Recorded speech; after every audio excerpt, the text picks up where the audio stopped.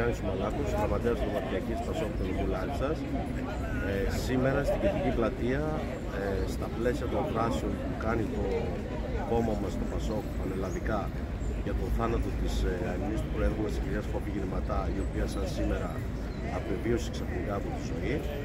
Πραγματοποιούμε την ετήσια αιμοδοσία μας.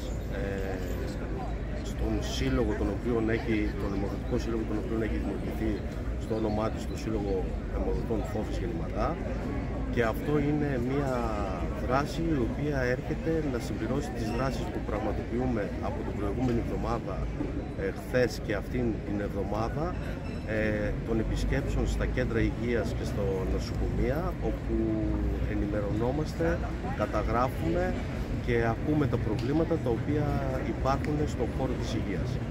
Οπότε σήμερα πραγματοποιούμε την ετήσια αιμοδοσία